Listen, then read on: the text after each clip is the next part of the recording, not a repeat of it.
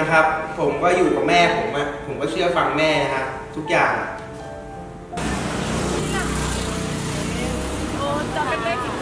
ะไปเร็วๆไป ไปไหนอะดูอ้าวเขาให้เงินเราเกินมา แล้วเราไม่เอาไปคืนโอ้ยนิดๆหน่อยๆไม่เป็นไรหรอกบางทีมันเป็นประโยชน์เราอะเก็บไว้บ้าง ครับ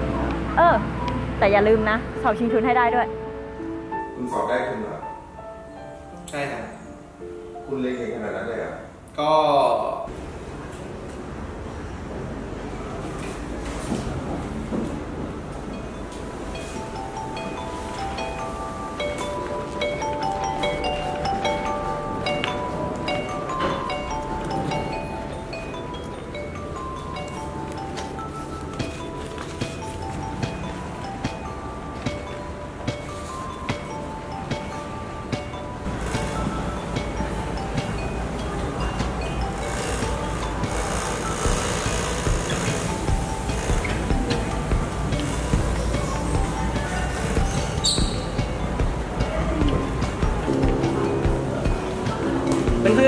ซองทำบุญมาให้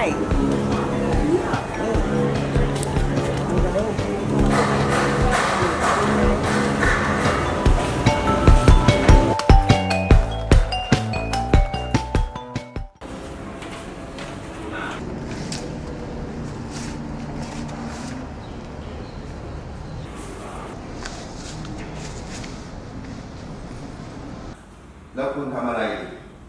รับบริจาคเงินเหรอ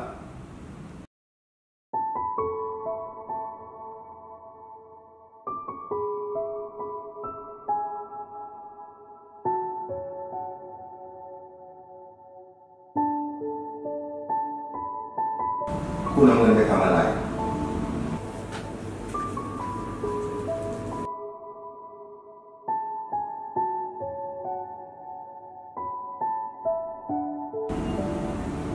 งั้นผมขอเชิญคุณเลยแล้วกันนะครับ ครับ ขอเชิญครับ